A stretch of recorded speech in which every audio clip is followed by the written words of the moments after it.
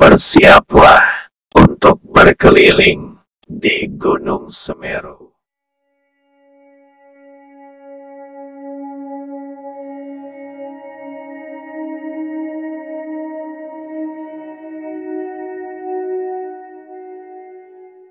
Assalamualaikum, dulur-dulur, jalan terang. Semoga kalian semua selalu dalam lindungan Allah dan selalu diberi rejeki yang mengalir deras. Amin amin ya robbal alamin. Alhamdulillah, kita diberi kesempatan lagi untuk berjumpa kembali pada segmen kali ini. Oke, langsung saja kita mulai. 5, 4, 3, 2, 1.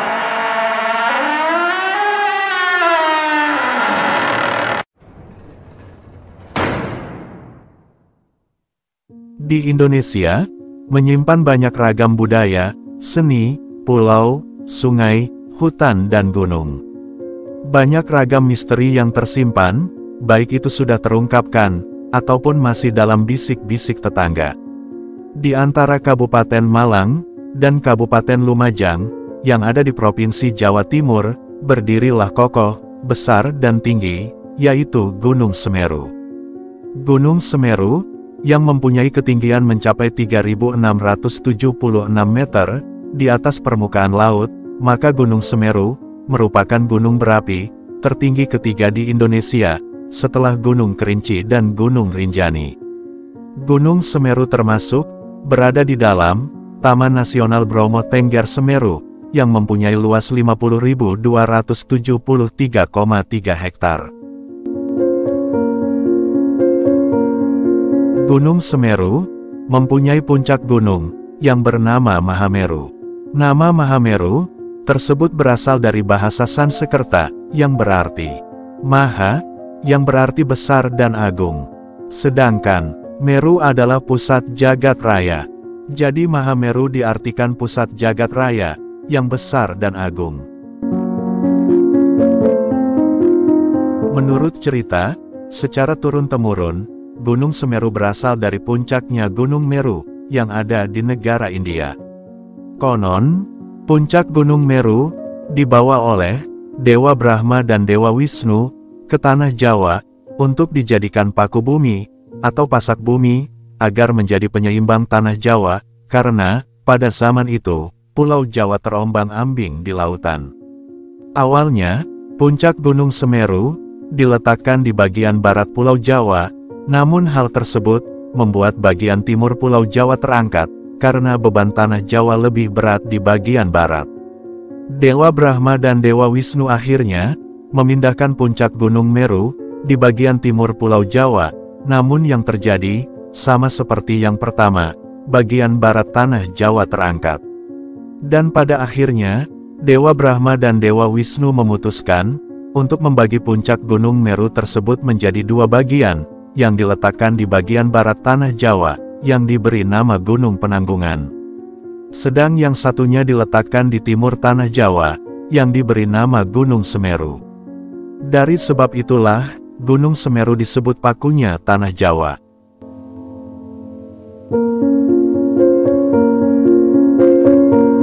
Namun, akhir-akhir ini, Gunung Semeru marah. Gunung Semeru, Sabtu, Tanggal 11 Februari tahun 2023, pukul 7.54 waktu Indonesia Barat, terjadilah erupsi, dengan ketinggian abu kurang lebih 600 meter di atas puncak gunung. Erupsi Gunung Semeru ini berdampak, banjir besar di sekitaran lereng Gunung Semeru, hingga masuk ke pemukiman warga, salah satunya adalah Desa Sumberlansep. Rumah warga, hewan ternak, dan lahan pertanian terendam semua jadi lautan.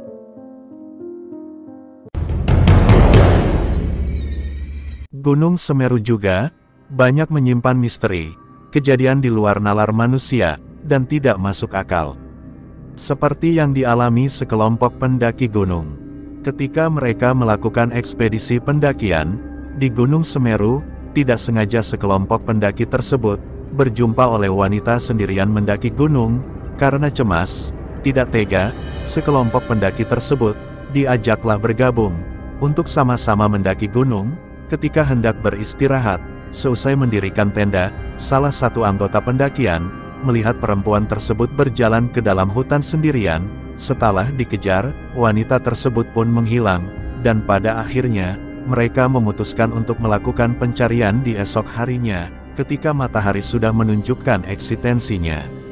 Alangkah terkejutnya mereka semua, keesok harinya, ketika mereka semua melakukan pencarian wanita tadi malam, mereka menemukan wanita tersebut sudah menjadi jasad yang sudah membusuk dan diyakini sudah meninggal berminggu-minggu.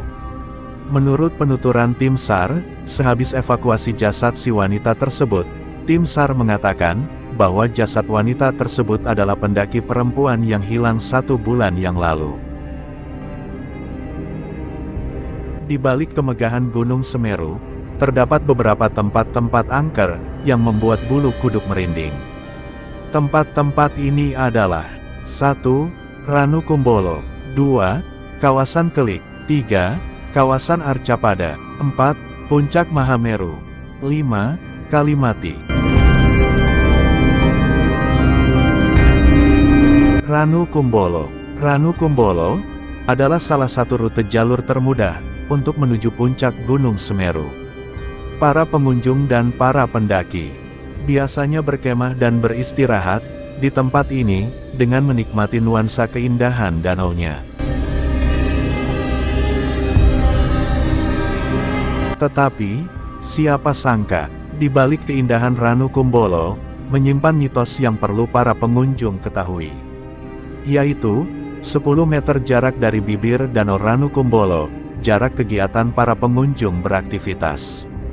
Maka ada pantangan-pantangan yang harus dijaga oleh para pengunjung. Pantangan itu adalah pantangan untuk mandi dan mencuci di Danau Ranu Kumbolo, termasuk mendirikan tenda di dekat Danau Ranu Kumbolo, harus dari jarak 10 meter dari bibir danau.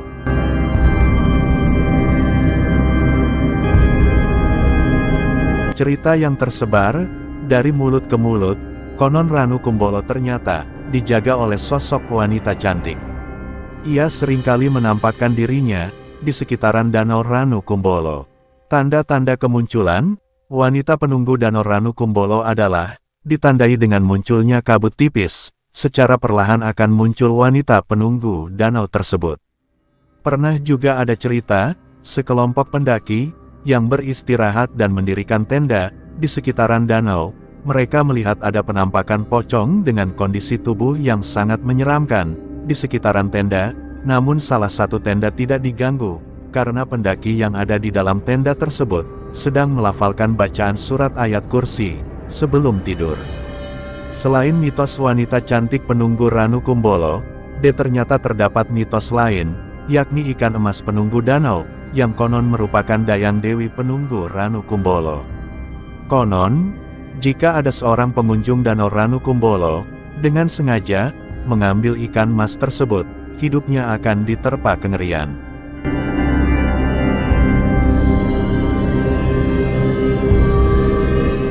Itulah, mitos dan misteri yang ada di Danau Ranu Kumbolo. Kita, yang hendak berkunjung, di Gunung Semeru, khususnya di Danau Ranu Kumbolo, hendaklah bersikap baik dan mentaati pantangan dan peraturan yang ada di sana.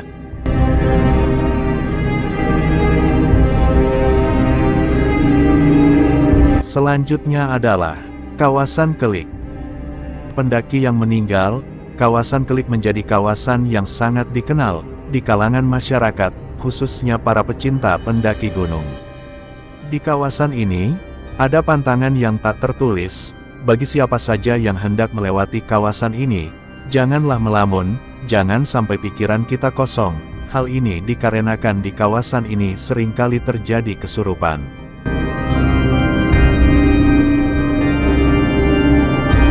Selanjutnya adalah Arcopodo. Tempat ini, yang dinilai memiliki kesan mistis di Gunung Semeru, dengan keberadaan dua patung bersejarah, di area Arcopodo. Area Arcopodo merupakan dataran luas di kaki Gunung Semeru, yang sering dipakai sebagai tempat peristirahatan para pendaki. Orang-orang yang memiliki mata batin, atau orang-orang indigo, konon dapat melihat dua pasang arca prajurit dari era Majapahit di area tersebut. Masyarakat mempercayai dua arca tersebut sebagai penjaga Gunung Semeru. Sebagian orang menuturkan, pernah sesekali melihat arca dengan ukuran sangat besar. Namun, ada pula pendaki yang mengaku melihat arca dalam ukuran kecil. Itulah mitos dan misteri yang ada di Arcopodo, di kawasan Gunung Semeru.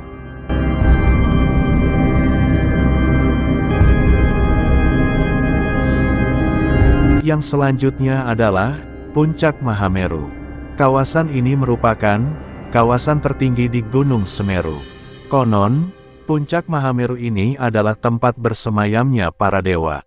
Menurut penuturan dari sesepuh setempat, jika melakukan pertapaan selama berbulan-bulan di puncak Mahameru, konon akan melihat dan mendengar suara dewa.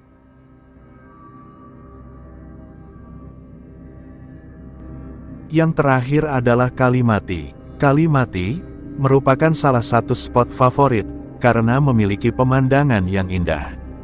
Namun, di balik keindahan yang disajikan, terdapat beberapa cerita mistik yang membuat bulu kuduk berdiri kencang. Konon dulu ada seorang pendaki yang hampir meninggal di sana, namun akhirnya terbangun karena pertolongan makhluk gaib. Ada juga cerita sekelompok pendaki. Ketika berniat ngecam di Kalimati, mereka bertemu sama warga yang hendak memburu hewan, setelah lama di dalam gubuk, tetapi salah satu pendaki tidak bisa tidur, Berniatlah si pendaki keluar gubuk, si pendaki melihat, warga yang hendak berburu itu masih di area Kalimati, dan tak selang beberapa lama, tiba-tiba pendaki tersebut, mendengar jeritan, suara perempuan, yang sangat menyayat hati, jeritan tersebut menggambarkan, rasa kesakitan yang amat luar biasa, dan anehnya, suara jeritan tersebut diiringi oleh jeritan anjing mengaum keras. Akhirnya salah satu warga, yang hendak berburu hewan, menghampiri si pendaki, warga tersebut berkata, suara jeritan tersebut adalah suara jeritan kuntilanak di hutan gaib. Jika suara jeritan tersebut diikuti, si pengikut suara akan hilang dot dan tersesat.